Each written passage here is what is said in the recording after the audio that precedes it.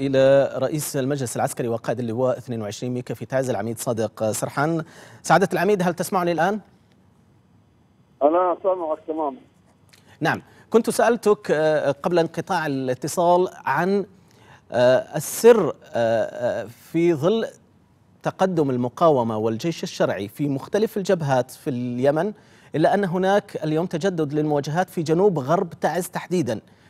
إلى ماذا يشير هذا التجدد في القتال خصوصا وأن المقاومة كانت قبل أشهر قد فكت الحصار جزئيا في هذه المنطقة. شكرا لكم على المتابعة. أهلا بك. المقاومة تواجه الاتجاهات التي تتواجد فيها الميليشيات. ومن ضمنها الاتجاه الجنوب الغربي. هذا هو نوع من المحاولة لتشتيت المقاومة في اتجاهات أخرى والهدف هو قطع الطريق هو الإمداد من عدن إلى إلى تعز بالنسبة لهذه المواقع. ولكن المقاومة تصد لكل الهجمات الموجودة في الاتجاه الصلب وحيفان وهيئة الأرض والكبوزة العدو هناك خسائر فادحة العدو غير قادر على قطع طريق المواصلات وإن شاء الله سيزول من المكان المحدد.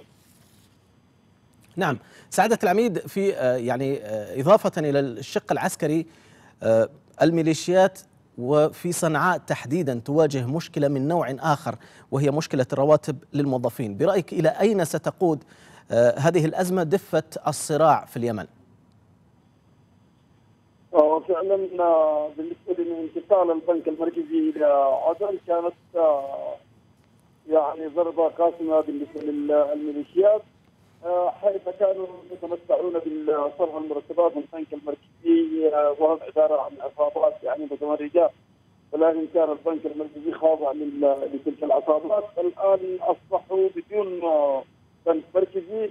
نعم. وأعتقد إنه ضرورة انضمام كل الجيش القوات المسلحة اللي كانوا مغرر بهم إلى القوات المسلحة الوطنية وكذلك الموظفين الموظفين الموجودين في المحافظات المسيطر عليها الميليشيات فضروري يكون لهم موقف بحيث تستطيع الدولة الشرعية صرف مرتباتهم صرف مرتباتهم بعيدا عن الميليشيات السعوديه وصالح.